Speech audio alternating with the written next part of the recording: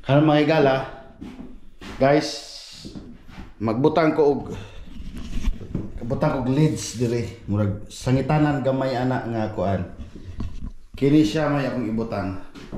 So Sogod na ta.